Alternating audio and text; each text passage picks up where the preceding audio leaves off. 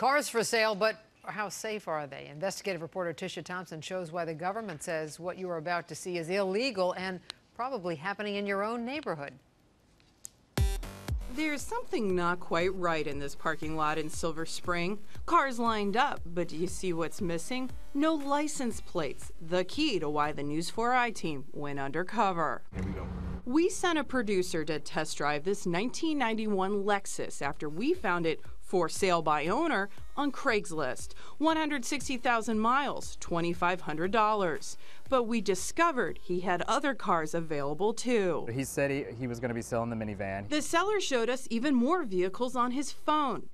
In Maryland, anyone who sells more than three cars in a year must have a dealer's license. Otherwise, it's called curbstoning, against the law, and experts say it's risky. We feel if we have to comply with the law, everybody should. Jack Fitzgerald has been in the car business for almost 50 years. He says legit dealers spend thousands to meet government regulations, including bonding, insurance, and taxes. All those laws and regulations are to protect consumers. For months, the News 4i team watched more cars show up on Craigslist and in this parking lot, all using the same cell phone of this man. He's given me a couple of names. His real name is Blake Keller.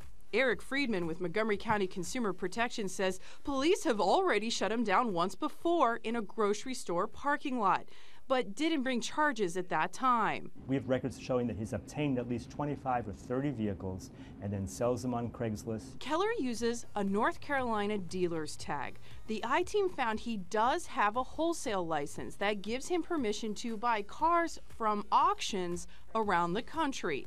It does not allow him to sell cars in Maryland, where the Motor Vehicle Administration confirmed he is not licensed. I don't sell cars in Maryland. You say you don't sell any cars in Maryland.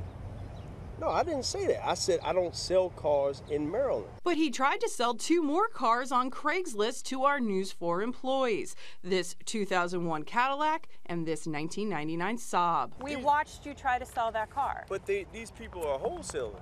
No, they're not. They're employees with Channel 4. And the cars are typically junk. John Creel has spent 30 years shutting down curbstoners in Montgomery County and says the real concern is safety. There's no way to tell unless this thing is thoroughly inspected prior to sale that you're not buying something dangerous. Are these cars safe to drive? Oh, yeah. How do you know? Because I've driven them. Have they been inspected? Do they meet Maryland inspection? No, they probably will. A lot of them have been inspected. They're, they're safe cars. We've talked to a lot of these consumers, and they've said to us, it's the car's not running anymore. I had a difficulty getting the car through inspections. Keller is not alone online. Friedman estimates up to 80% of classified ads are curbstoners. I'm not a back alley salesman. Keller promised to show us his license. We even waited for him to bring it back, but he showed up empty handed. What I'm doing is not illegal.